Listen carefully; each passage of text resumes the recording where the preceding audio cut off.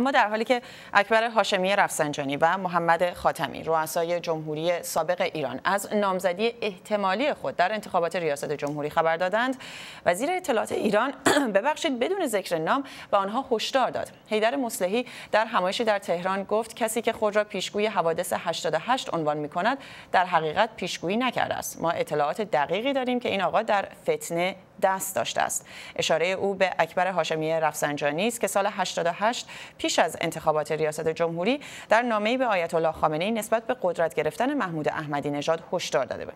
وزیر اطلاعات ایران از محمد خاتمی گفته که او نباید یادش برود که به خاطر ملاحظات مثل دو نفر دیگر او را محصور نکرده ایم. هرچند آقای مصلحی تاکید کرده که طبق نظر رهبر جمهوری اسلامی ایران همه جریان ها در انتخابات می توانند حاضر شوند اما باید این افراد زاویه دید خود را با مسیر امامت و ولایت روشن کنند اما برای بحث بیشتر در این مورد همکارم آرش سیگارچی در استودیو با منه خب آرش این انتقادهای تند حیدر مصلحی به حالا اول از هاشمی رفسنجانی شروع بکنیم به هاشمی رفسنجانی پیش از انتخابات چه معنی می‌تونه داشته باشه؟ در واقع اشارهش به این هست که نامه‌ای که آقای هاشمی قبل از انتخابات 88 نوشته شده بود و به نظر می‌رسه آقای مصلحی وزیر اطلاعات چندان خوشحال نیست از اظهار نظری که ابتدای هفته اکبر هاشمی رفسنجانی داشت مبنی بر اینکه شاید من در انتخابات نامزد بشم.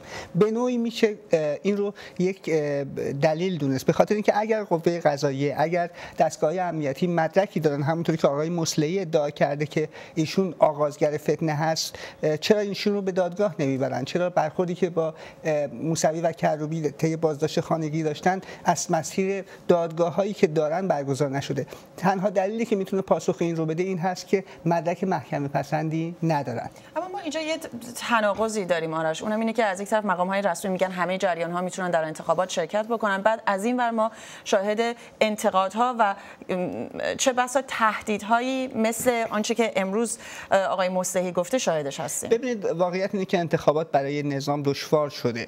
از یه طرف می‌خوان کم هزینه باشه به نوعی مثل گذشته مثل انتخابات 88 نشه که با اعتراض موسوی و کروبی مواجه شد. از طرف دیگه می‌خوان چهره های معروف تو انتخابات حاضر نشن که بعد اون وقایع براشون پیش بیاد. به همین دلیل دارن سعی می‌کنن چهره های سرشناستری که شاید اقبال عمومی هم داشته باشن رو از راه بدر کنن. بعد از طیف اصلاح طلبها یا نیمه مستقل ها افرادی مثل اسحاق جهانگیری یا حسن روحانی به عرصه بیان که در رقابت با نامزد نزدیک به حکومت اونها رو شکست بدن. کما اینکه پس شاید در مورد این در واقع حراسی که مسئولان دولتی از حضور هاشمی رفسنجانی و خاتمی در انتخابات دارن هم همین باشه دیگه. به نوعی میشه گفت همین باشه چون به خاطر اینکه در واقع آقای مصلحی الان داره سیاست های دفتر آقای خامنه ای رو بیان می‌کنه. به نوعی اونها نمی‌خوان این چهره ها یعنی محمد خاتمی اکبر هاشمی حضور داشته باشن.